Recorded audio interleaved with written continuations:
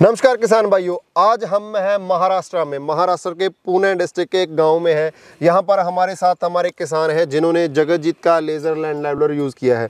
तो महाराष्ट्र में इसकी कैसे यूजेज होता है ये यहाँ पर स्लॉब में खेती करते हैं। तो पूरी जानकारी लेते हैं हमारे फार्मर जिन्होंने जगतजीत का लेज़र लेवलर किया है। नमस्कार भाई साहब। नमस्कार। क्या नाम है जी आपका? अजीत गोते। अजी कौन से गाँव में है अब हम? हम महाराष्ट्र के पुणे डिस्ट्रिक्ट में तालुका हवेली बिवरी तालुका हवेली जिला पुणे. कितना खेती है आपका? हमारा इधर दस एकड़ है. दस एकड़ का खेती करते हो। तो यहाँ पर जो ये आपने लेज़र लेवलर जो है कैसा लगा ये यूज़ किया है जो आपने?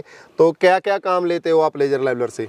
ले, लेवल ही निकाल रहे हैं अभी। हम्म, और खेती में अभी गन्ने सब चलता है। तो पानी दा, ये डालने के लिए बहुत तकलीफ़ होती थी इसलिए अभी इसका यूज़ कर रहे हैं। तो गन्ने की खेती में पानी देने के लिए बड़ी दिक्कत आती थी जब इन्होंने जगतजीत का लेज़र लैंड लेवलर यूज़ किया तो उससे क्या है ज़मीन समतल होगी और पानी क्या जो वो कम लग रहा है कम लगेगा को। पानी कम लगेगा पानी की भी बचत होगी। पानी की भी बचत होगी और किसानों को भी मुश्किल नहीं आएगी। तो बहुत बड़ा जो जगजीत अ, लेज़र लैंड लेवर का फ़ायदा है।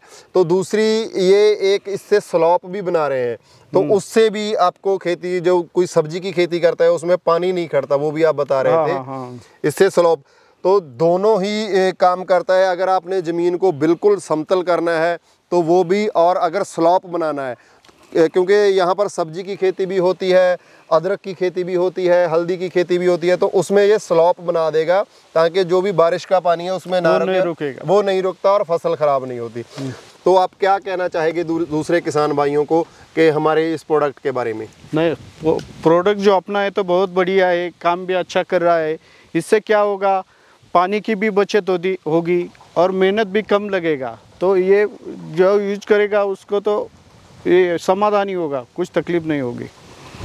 तो ठीक है किसान भाइयों आप जगजीत के हेल्पलाइन नंबर पर कॉल कर कर प्रोडक्ट की जानकारी ले सकते हैं अपने नज़दीकी डीलर का नंबर ले सकते हैं।